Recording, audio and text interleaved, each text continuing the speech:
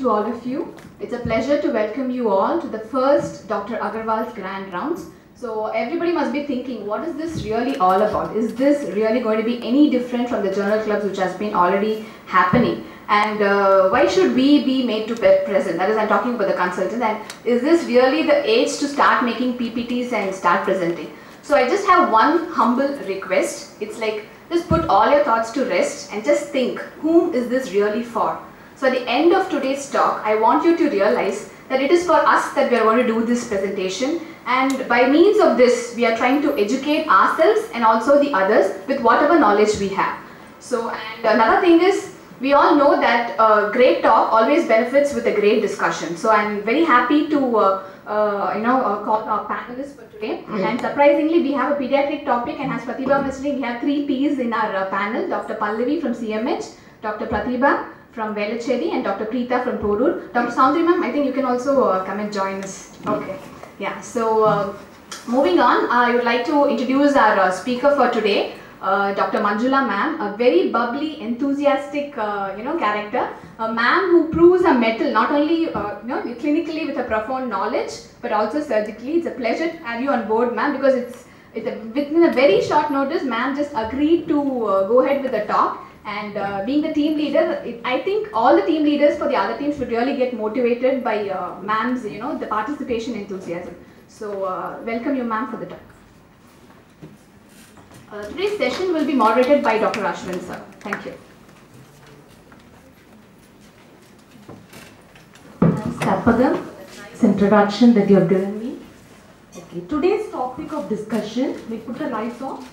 Today's topic of discussion is amblyopia, the current concepts of management.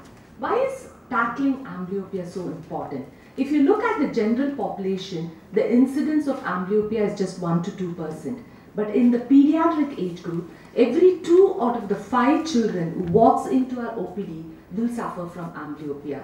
So therefore, tackling amblyopia is one of the foremost things in the mind of a pediatric ophthalmologist as well as a general ophthalmologist.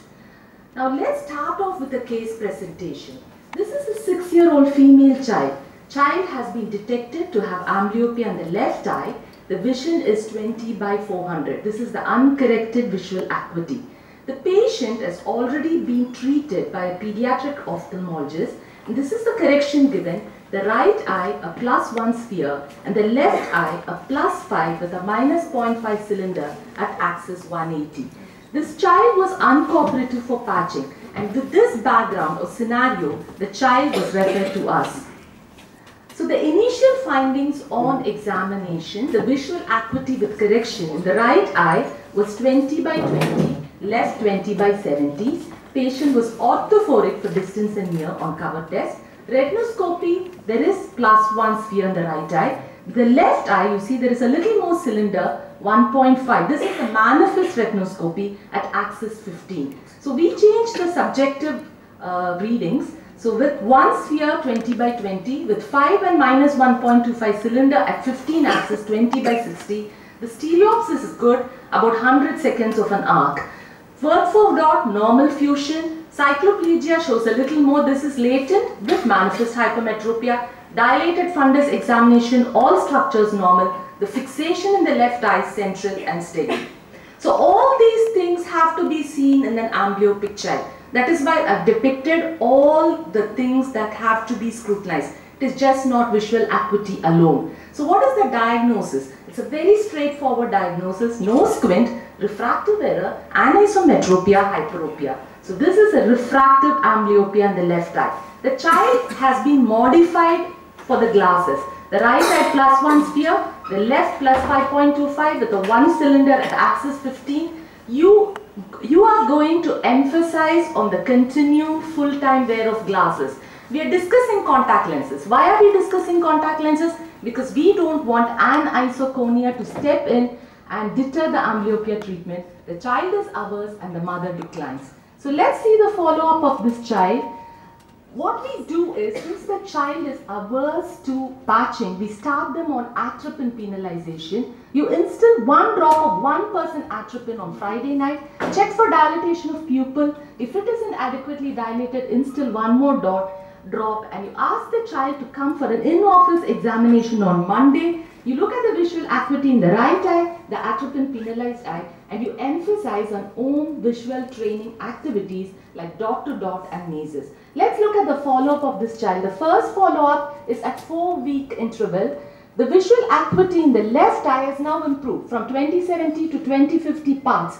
You plan to continue the beacon therapy of atropine. You plan to continue with the home visual training exercises. Second follow-up. This is going to be an 8-week follow-up. Good compliance with atropine. Visual acuity in the left eye is improved further to 2040 with one line more, with one letter more. Stereo acuity is showing a lot of improvement from 100 seconds to 80 seconds. Now you plan to continue atropine therapy, but you start on computer learning activities. That would be jumpstart exercises. Okay, this is follow-up number 3, which is at 12 weeks. So you're following up this child at every 4-week interval. Now the visual acuity is 20 by 30. Stereops has more improvement, 60 seconds of an hour.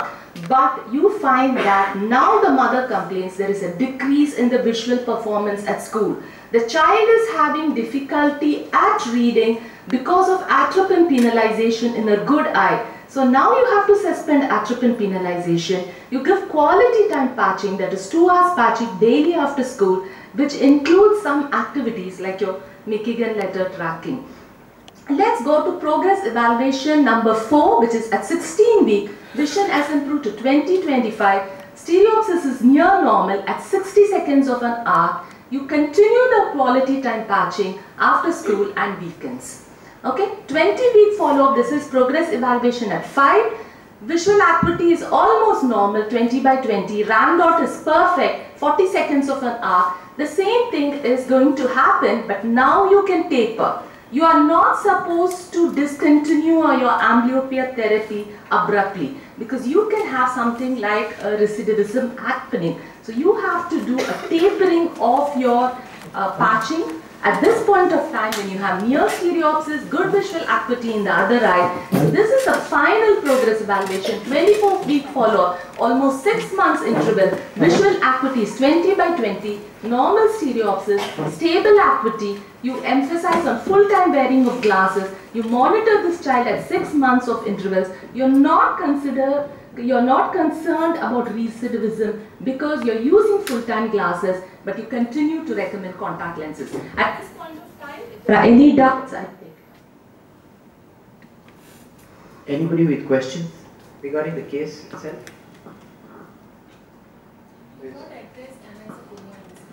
No, because the child is averse to contact lenses. The improvement will be faster if you are putting contact lenses. So once the patient has uh, like got 20 by 20, Uh, we are If not you use the mic, uh, just so Ah, that okay. everybody can. No, once the 20 by 20 is reached, as you said, I saw on the previous few slides, you start tapering your path. You don't abruptly. If the child has been using 2 hours, you make it 1 hour, then you make it half an hour. It's all within 8 weeks, I think. And then Over you can stop. weeks, Over 8 weeks, you can take. If uh, Every it's visit, uh, uh, you've not recorded the right eye vision. Atropinization was happening. no, no, that is because I don't want it to be be recorded. As a protocol, visual acuity is done every time. No, that's what. That's so, why we stopped atropine when the child complained of uh, difficulty at schoolwork. That's the reason why it was stopped. So, because occlusion amblyopia also should be. Yeah, yeah, reverse amblyopia. It's called as reverse amblyopia. You said that uh, the child was given glasses Yeah. plus 6 on the Yeah, the anisocoria is there, but still you have improved. So will That's the child still use both eyes if there is so much of aniseikonia? No, it, the child is using both eyes. Well, that's why you have a stereopsis present. The child is not have using both eyes. Won't have Worth four dot fusion. You will not have stereopsis. So uh, how do we know if the child is not having diplopia? Child is not having diplopia. Child will complain of diplopia. It's only an anisometropy of four. Diplopia ha- happens with a larger anisometropy. It's one and one eye. The other eye is plus five with a cylinder of 1.5. Once you stop the occlusion, does it uh, recur? The possibility of amblyopia? Possible, Possibility of amblyopia? Yeah, the possibility of recurrence is very high if you abruptly stop it. The moment the child achieves 20 by 20, you stop it, you say that's it, then you will have re- recidivism. But if you taper your patch up, it won't happen. But the key to all this is proper refraction. No amount of amblyopia therapy will happen if you give a wrong refraction. That's the key. After this point, for how long, like, uh, will we follow it? Six months. Six months till what age? Coming to childhood, like how you ask your pediatric patients to be followed up. You know, even a normal patient who's wearing a refractive error, you ask them to come at a year or six months. Similarly, you follow up Yeah. Dr. Kala wants to know because uh, whether a surgical uh, clear lens extraction will help because she feels Definitely that. Uh, not. Definitely not. Whatever Whether you do, in a how child- much ever you uh, uh, touch the amblyopia or anything, finally you land up in plus 5 and plus 1 only, right? The patient The- loses the child, accommodation. this is a child, that the hyperopia is going to come down as the child age increases. And What is are the age you of the doing? child? Six- Sorry, I missed the first six part. years. Six you years. cannot do a clear lens extraction in a six-year-old child. And, That's where the discussion really helps, you know. And till what age would you try this full, this thing, uh, amblyopia train, uh, uh, treatment, till what age? Amblyopia treatment is over once the visual acuity reaches 20 by 20 and No. then taper your patch Yeah, in the yeah, body. Yeah, till what age would you do? You keep doing it at the entire childhood. No, what you what other thing is Uh, presenting age, I mean, the presenting age of the child, Uh. till what age would you go in for? That I will is there in the discussion. Okay. It's up to eight years. Eight years. But there is a period where you can extend also. Okay. Shall we go on to the disc, uh, the main presentation? Shall we go on to the next presentation? Any more questions? I mean, we have a minute. We have a minute more if anybody has any more questions, minute or two. No. Anything to clarify on the case? Yeah. And supposing this child is like myopic, severely, high, highly myopic, at the age of six, six years, having uh, this anisometropic myopia, and instead of How giving much glasses, anisometropia? I mean, you can say uh, myopia is around 12 spherical equivalent, and other eye 6, 6. Two Plano. options are there. One is contact lens, the other is refractive surgery. Yeah, that is if what you I have mean. anisometropy of more than six diopters happening and it's myopia, you can always do your refractive. So the, I mean, advantage of that will be like uh, amblyopia treatment will be, I mean, amblyopia will be fastly corrected. In, in Amblyopia, yeah, the amblyopia treatment would be more effective or we would say it takes little lesser time for the improvement to take place. Once you have the aniseikonia. But the same thing is done with contact lenses. Suppose your patient is not affordable or the patient's parents are not willing for a refractive surgery, please push for contact lenses for any case of significant anisometropia. The improvement is faster and uh, the progression is better. Okay, shall we go on to the next presentation? Okay, now we'll go on to broadening the view of amblyopia. So what is amblyopia? The simplest definition that amblyopia can have. Amblyopia is just a developmental disorder of spatial vision, which simply means an amblyopic child is not able to see something in space which you and me who are normal can perceive. So what is the classical uh, Vision parameters. People say, is it best visual acuity less than 20 by 40? Is it a two line difference in visual acuity? Or is it even a best visual acuity of less than 20 by 20? Well, all three definitions will fit into amblyopia.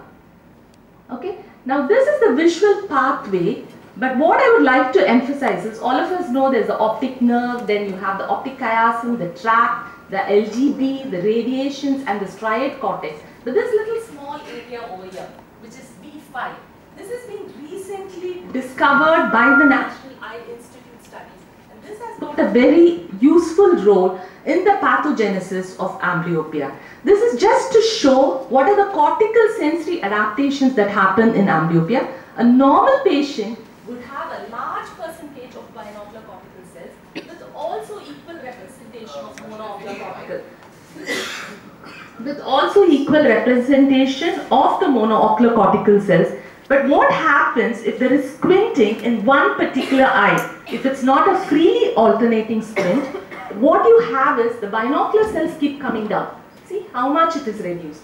As well as there is some reduction in the monocular cortical cells. But if you have something like a meridional amblyopia, or if you have something like high plus power, equal kind of plus power in both your eyes, then you find that your binocular cortical still cells still remain. It is just that only there is a decrease in the monocular cortical cells.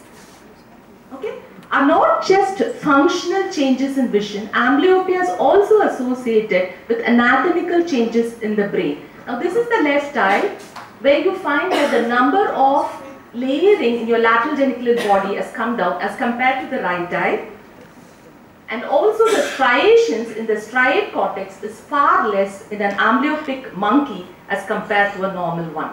Okay, so I want to emphasize on the plasticity of periods of visual development. There's something called as a critical period which happens from birth to six months.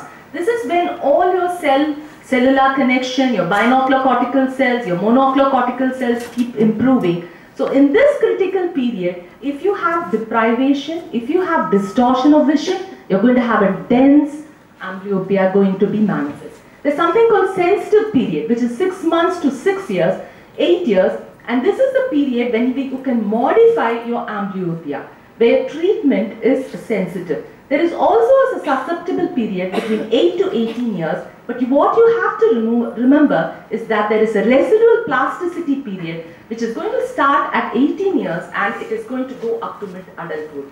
Okay, amblyopia is not just decrease in vision. Beneath the surface, you have a lot of other functional abnormalities which you can expect. One is decrease in contrast sensitivity, spatial distortion, abnormal spatial interaction, crowding, loss of accommodation or decreased accommodation, abnormal smooth pursuits and saccadic eye movements, suppression, interaction of spatial and temporal functions. So is treatment of amblyopia just based on observational data? It is necessary but definitely insufficient. You need far more kind of in-depth analysis of amblyopia. Okay, that is why the National Eye Institute came into being and it started the PEDIG trials or the Pediatric Eye Disease Investigator Group of Trials, which is a multicentric, randomized, controlled trials involving private practitioners and institutional practitioners.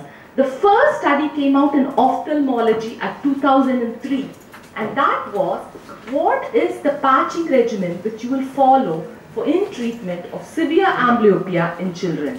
This is the first study so the results of this study said what people were following for severe amblyopia is full-time patching. So after the, this study was published in ophthalmology, they said that there is no longer full-time patching that is necessary. You can do away with 6 hours of patching in severe amblyopic children. This is the first study published by ophthalmology journal long ago in 2003 and it still holds good because we do not do full-time patching for severe amblyopia. When I mean severe amblyopia, I mean a visual acuity of 630 and less. We only do about a maximum of 6 hours of patching. The second study was on moderate amblyopia and this was published in the American Journal of Ophthalmology in 2003, again in 2003 and this study showed the results with atropine penalization as against to as against to patching. Now, as far as the results of this study goes, you had improvement of visual acuity almost equal in both groups, whether you did patching or atropine penalization. Both cohorts of patients had equal visual acuity, but its improvement was faster with occlusion as compared to atropine.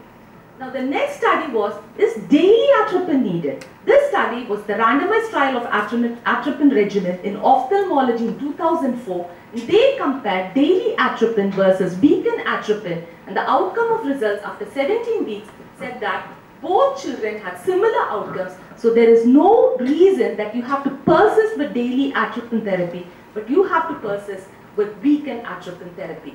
Now treatment of amblyopia in older children, we tend to treat children only up to the age of 8 years or that, that is the general mind concept that amblyopia therapy does not work in older age group. That is the reason this randomized trial published in the archives of ophthalmology in 2005, it took children between the age group of 7 to 17 years. This is the plasticity period and they found out if children between 7 to 12 years, amblyopia therapy worked if amblyopia was not addressed, uh, was at, even if it was addressed previously. And between 13 and 17, amblyopia therapy worked only if amblyopia treatment had not been uh, addressed previously. So you got this point? So between 7 to 12, amblyopia therapy will work even if children had had amblyopia therapy in the past. But between 13 and 17, you will have better results only if the child had not been treated in the past. Okay, So then the next study was anisometropic amblyopia in children with refractive correction. This is in 2006 published in Ophthalmology Journal and you have children between 3 and 7 visual acuity ranging from severe to moderate visual loss and the only treatment that was given in this cohort of patients is just spectacle treatment and at the end of 30 weeks you found significant improvement with just glasses. So what is the conclusion of this study? Glasses alone is a powerful treatment modality in young children with anisometropia and in moderate cases of amblyopia, it may be the only treatment that is necessary. Now there is a phase 2 of this study, again in ophthalmology 2006. After the completion of first phase, you have two subsets of patients, one undergoing patching with near activities, the other which did not undergo patching and near activities. And you find that there was additional improvement in patients who had the patching group. Okay, so how do you manage patients with amblyopia? Appropriate glasses. This is very important. This is the first step. Giving proper refraction. Quality time patching if it is moderate amblyopia. You have a belt and suspenders approach to atropine. What do you mean by belt and suspenders? You Use atropine for some time. You find that the reverse amblyopia is happening, you have to stop atropine. And patching is moderate. Refractive amblyopes, you can give home-based visual training exercises. But in strabismic amblyopes, you need more vigilance because they are prone to regression. And that's where the fortified amblyopia therapy comes into being. Okay, these are the tips for successful management. It's called undoing the occlusion confusion. If there is severe amblyopia, you have to give direct maximal occlusion, moderate minimal occlusion, shallow, shallow amblyopia, no occlusion at all. Always emphasize on the value of glasses and near point activities. What are the issues in compliance with patching? You find it very difficult to motivate children because it doesn't make sense to a child why is the better eye patch. And children of all ages are concerned about their appearance and children are always adept at treating the system. What are the different methods of occlusion? You have opticlude patches, plastic occluders, patches which can be stuck to your glasses. Now we uh, look at amblyopia as a developmental disorder. It's a developmentally disabled eye. So you can teach this eye to perform better. And that is what is the concept of perceptual learning. So how can you train the eye, visually train the eye? You can use Haidinger brush stimulation to stimulate the macula. You can improve accommodation, like accommodative stimulation. You can use to improve the ocular motor precision control by using small detailed targets, reduce the crowding phenomenon which is present in amblyopia, improve spatial localization. It is not, that is why all these near vision, the vision training is so very important. It is just not about only patching and forgetting about the child. Then you will not get any improvement. So what is, there is a concept of monocular fixation binocular field. What is this? The amblyopic eye will be preferred to function centrally, whereas the other eye will function peripherally. This is like an analogy to picture-in-picture TV screen. Now, one of the things for MFBF is you can use foggers, foggers like the Bangerter foils, which can occlude the other eye, but it does not completely deprive the eye of vision or light. It will just drop the vision to below the amblyopic eye. Atropine penalization paralyzes accommodation as well as the dilatation of the pupil will induce aberration and also reduces the depth of focus at all distances. Again, here we are going to achieve a vision which is lower than the amblyopic eye. There's something called as supervised perceptual learning under MSDS. Now you use anaglyphic filters or polarized filters. You have red-green filters. The good eye is going to have the red filter. The bad eye is going to have the green filter. And your print is going to be in red. So what happens? The child is not going to see with the good eye. The, all the print is going to be appeared clear, uh, blanched.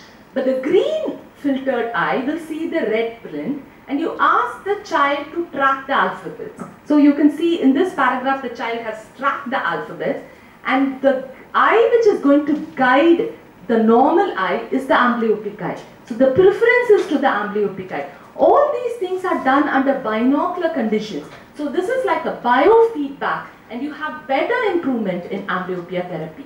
So the last and the final thing which I would like to say, which is there in our hospital, is computerized therapy to amblyopia, which is the AmbiNet exercises. You have a whole array of programs for the child to perform. And what is the this exercise so very different from the normal things which you do? And when the child starts doing this, the child is going to be adept at looking at one of the phenomenal changes which is happening in amblyopia, that is crowding. So the vision improvement, the quality of vision and the amblyopia therapy is going to be better. Find the target. So the, as the child keeps doing the exercises, the target keeps getting reduced in size.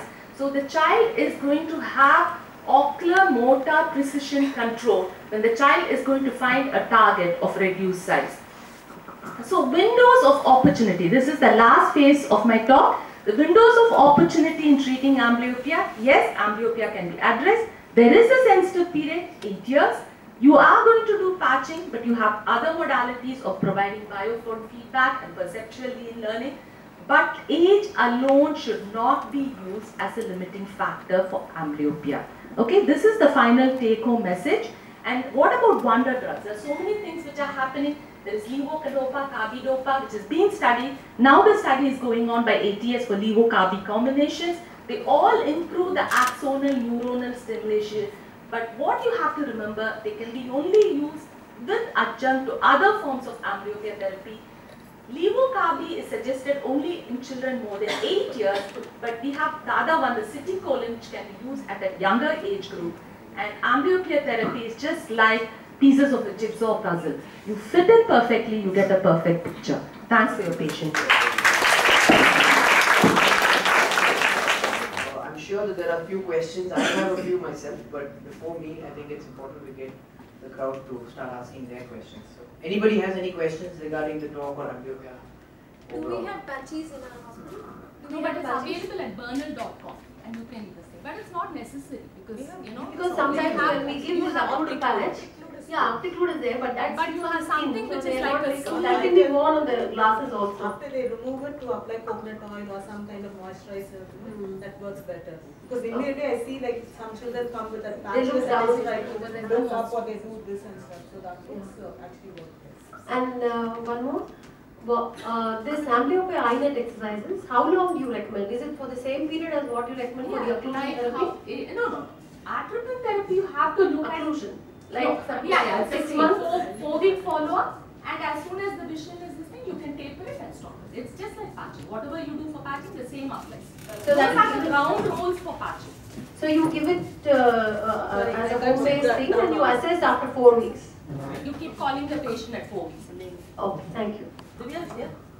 One is just for the interest of the postgraduates. Uh, if the amblyopia is associated with squint, then what would you treat first and why? Actually, there are a lot of controversies regarding that, this, but what I actually do is, I see that there is equal fixation. Suppose you have a child where the fixation is not equal, then you are at a roadblock. When there is equal fixation with both eyes, you can start off with your strabismus therapy and then go on, continue with your amblyopia therapy. Especially in an institutional practice like ours, actually we don't have dropout of patients. So they keep coming for a follow-up. The reason why people said is you first treat amblyopia and then do strabismus because of the larger dropout rates happening peripherally. But in an institutional practice, it doesn't matter because there is a roadblock if the strabismus is still existing. So it's better to treat your strabismus once there is an equalization fixation in the. Second question is regarding patching. So, uh, like when we were taught, we were taught that the, the patching depends on the age. So if it's a one-year-old child, it's No, one in seven. See, now Two-year-old child, two in seven. So how much? Study. Yeah. So how much That is is the for patching? full-time patching, which Correct. is not done any longer. So now- Even for severe amblyopia, it's only six hours. So now what we follow is the PEDIG trials. You don't follow the age-old concepts. And uh, ma'am, uh, with regards to the treatment of amblyopia, you said that the older age group they tend to not uh, respond better if they've had the previous amblyopia therapy. So what what is this study. So what is what rationale study behind? says is you can still try, but what is the rationale behind it? No, they found out in the study. They had children between 7 to 12 years. There's another group between 13 to 17. And the conclusion of the study was this. So it doesn't mean that you follow it. You can still treat your amblyopic patients up to 17 years, But you just keep it at the back of your mind. If a scientific study has told you that, then you don't expect as good a results if the amblyopia has been addressed previously. And last question, ma'am, what's the role of functional MRI in amblyopia? I don't know. I have not done it. Uh, First of all, uh, congrats, I think, the whole uh, clinical team and Ashvin for this. I don't see this kind of crowd in any big. Uh, Long that, I wanted Divya Ashok here. We, we uh, started something called Aberropia. Have you gone through it? Yes, ma'am. You told me to go through it, ma'am. I have, done it. How come you didn't? That's why I wanted it. I wanted Divya Ashok here. See the We tried and proved that aberropia is uh, amblyopia is not true. It is aberropia. It got accepted in American uh, journals also, and we tried to prove that this is due to higher order aberrations in older age group. Ma'am, if you that answers Anusha's question. like if you have your refractive correction and then you find that the child is not improving, then you think of amblyopia. Look Because at some of these children are left alone. We usually we are taught from right from the beginning that within five years, if we don't treat the amblyopia, that becomes a permanent amblyopia. We disprove that. We took so many cases and we did LASIK and we did clear lens extraction and we gave them three to four lines of uh, improved uh, visual acuity. So I just that's what I want to say. Can I leave now? I'm in my braces. Thank you. Thank you, ma'am. Thank you, ma'am. Dr. Manjula ma'am, you have any questions to ask for amblyopia before and now? First of all, uh, an excellent presentation and uh, quite uh, refreshing for my old brain. So um, the only thing probably it is out of the um, syllabus of today's talk.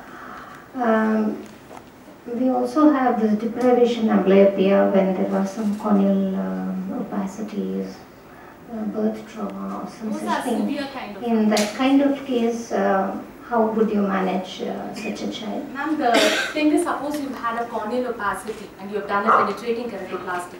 The biggest roadblock here would be your irregular astigmatism. So that, because we are not going to have a proper kind of a refraction possible. Maybe we have to give something like a Rose K lens or a mini scleral lens to uh, uh, counter that component.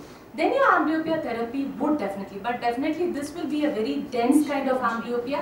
Direct maximal occlusion would be the way of going about it. Longer term follow-up. maybe the results, final results of your visual acuity will not be that very promising. But definitely there is scope for improvement. We have to try amblyopia therapy.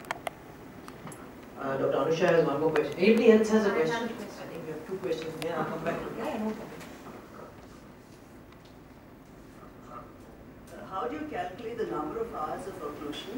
You said two to six basically. No, no. In Depending- severe amblyopia, you do six hours. If it's moderate amblyopia, you do only two hours. Okay. So If it's minimal amblyopia, you don't have to patch it off. Okay. So, and um, some, some, some children are just more accident to patching. So that is when like you, other modalities have told you, atropine penalization is one such. And you have this Bangerter foils, which will test, you have MFBF kind of exercises, so many other things. You have alternative modalities. Right, what I wanted to know was is two hours still? I mean, if the patient cannot manage six hours of patching, even in severe amblyopia, will two hours help? Two hours is definitely not going to help. You have to emphasize on six hours if it's a severe thing. Nisha? Ma'am, what is the period beyond which uh, you say like this is the maximum improvement, it won't improve beyond this? You can keep on trying up to 18 years. Why should you give up on your patient? like I've started treatment today, so Uh-huh. do I wait for 16 weeks, 6 months? No, actually, as I said, 24 weeks. By 24 weeks, you see. If you're not seeing, there is something going wrong in your treatment. Either the child is non-compliant or your refraction is totally not adequate.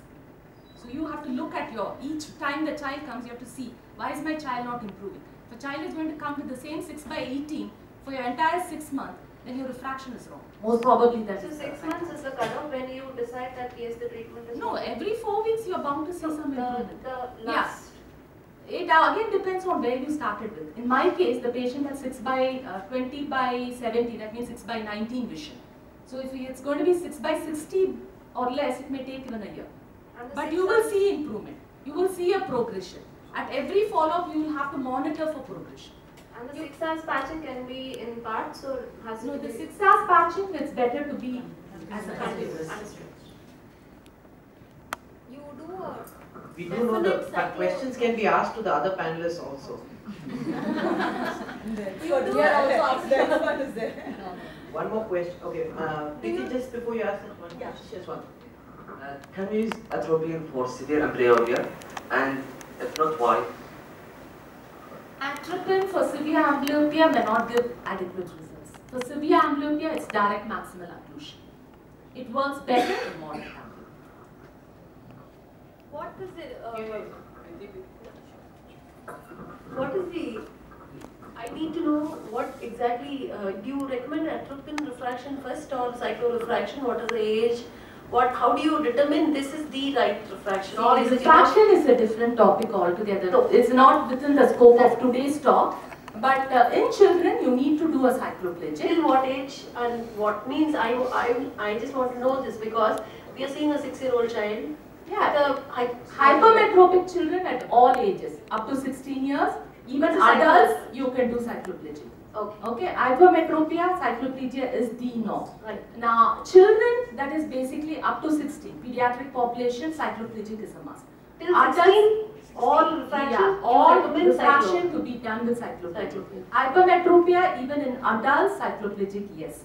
And any patient at any age group with accommodative problems, okay, then they have accommodative asthenopia, they have eye strain, then you look at cycloplegic. In a four-month-old child, uh, four-month-old child, unilateral cataract, you have Okay. uh, done the surgery. Okay. Uh, after surgery, you want to continue with the patching for the other eye. Yeah. So how do you follow up the patients and what are the things you look for when the patient is coming for follow-up? See, four-month-old child, first you have to look at alternation of fixation.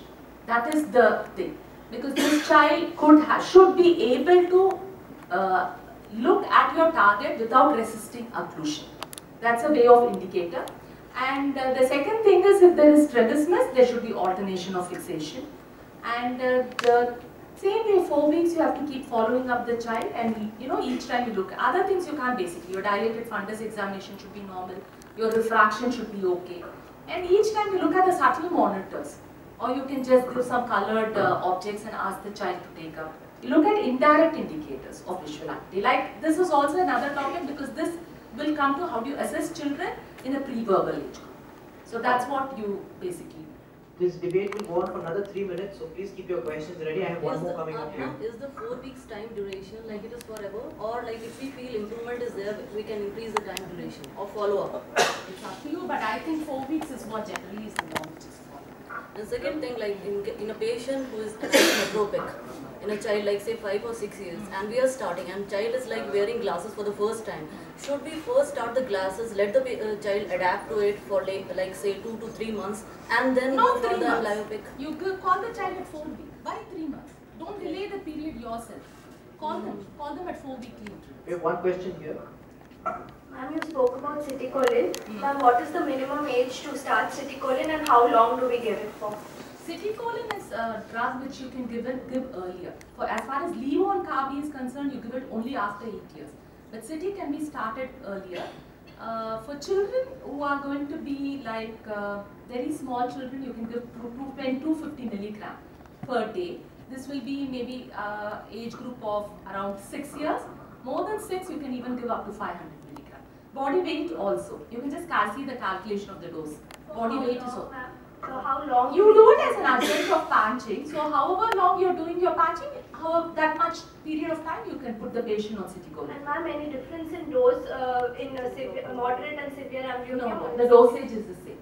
Because moderate severe is your patching regimen which is going I have a question. Uh, in a child with also ametropic amblyopia, hypermetro, best corrected vision in one eye say uh, 660, other eye is uh, 636 after glasses. Is there a role for alternate uh, patching? Uh, no, there is no role for. So what do we do in those cases? These are ametropias cases. You just give the optimum refractive correction and you just keep following, following up the patient. Suppose the amblyopia is going to be very like uh, maybe 630, you can do alternate patching. But if it's going to be around 612 with your ametropic correction, you can just there's no need for any. I have a question. Suppose a child has been through one sitting of Ambinet, the six months therapy, but after a few days you note a drop in vision, you know, and then do we repeat? Uh, can we give Actually, Ambinet? no, uh, it's all about tapering the treatment. If you taper, this recidivism never comes. All the ambulance has regression uh, happens, tapered. yeah, everything has to be tapered. So it- tapering means beyond six months or how long do you No, actually advise? actually the ambient therapy which we have here is only for three months. So it has to work within three months. I have one more question. If the amblyopia is dense, as in one eye has 1 by 60, 2 by 60 vision, then how do you go about the occlusion? Because occlusion will hamper the These daily cases of activities of very dense amblyopia, what you're talking about have eccentric fixation. Okay. You look at your central fixation, it will not be central, it will be eccentric. That is why the vision is 1 by 60. Many times we have minus 16 diopters, but it's not central fixation. So what do you do with these You children? only have, need to stimulate the macula. Either the macula image tracking or the hiding of pressures, something you have to stop. Ma'am, I have one question for you, ma'am. Uh, could you tell us more about the pediatric smile which is happening in your department? Is it helpful for treatment of amblyopia, or I mean, how do you decide and what are the? Has it helpful? Yeah, yeah, definitely. This is what we have discussed uh, mm, prior to, I mean, your question with madam. Uh, refractive surgery or refractive laser, whatever it is, okay, not only smile, it has worked wonders for the patients who are anisometropic, I mean, who are anisomet who are having anisometropic amblyopia. So there are very uh, few selective patients whom we have to select for the refractive surgery, not all. Firstly, the age of the patient, because the patients are not compliant with the glasses. They can, I mean, they cannot be treated for amblyopia with the glasses. They are not compliant with the contact lens, and they are having severe amblyopia and severe anisometropic amblyopia. Those patients are the patients we will select for the refractive laser. And in refractive laser also, uh, people say that it is always better to opt for procedures like photorefractive keratectomy or procedures where anterior stroma is least hampered. And now the newest treatment is SMILE, although it is not FDA approved for the pediatric LASIK, but still I think it can uh, do wonders for those kind of patients. After this smile, when we when we opt for a PRK, the retreatment at say 18 or 20, when they have a regression or a residual power, is easier. In smile, generally, how do you augment? Is it like the adult smile? You have to do a PRK or? Or residual, See, suppose on. we do a smile at three or, or six years of age or whatever. Okay. We definitely know that they- they are going to end up with an additional refractive error at around 18 to 20. How do you treat that if you have done smile? See, it depends from what power we have corrected. When the mm-hmm. age, like for pediatric, what power we have corrected. It depends on that, what is the power. And secondly, what is the power the child or the person is having at the age of 18. What is the corneal shape? What is the residual thickness? It depends on that. I think majority patients that we select for pediatric LASIK, they are having power of spherical equivalent more than 14 or something like that. That is what I have done. So, so in that range, definitely at the age of 18, uh, again, refractive laser is not an option. Actually. Okay. So mostly all those patients will go for the ICL. For the ICL. And uh, this is not, this is basically for this age, if we are selecting pediatric LASIK, that is the last resort actually. Because that is just to give fast treatment to the amblyopia that patient is going to ha- uh, land up or is already in. Just like that. Okay, thank you so much. March 13th and we have our team leaders Dr. Nalini and Saraswati who will be uh, coordinating and you know uh, doing the next uh, grand rounds. So all the questions were beautifully handled and uh, I know with what elan and attitude I just can't help. Thanks a lot. So big applause for them. Uh, I raised a question. Is this going to be any different from the journal club? The grand this is any different? I think you got the answer. It is us, you, me, we who can make the difference. We want every one of you to participate, bring about the questions. It can be the silliest of doubts, but I think it's better to make our mistakes and learn from this forum rather than do it on the patient. So thanks a lot for this overwhelming response and uh, thank you. Nothing more to say. Thanks for coming there.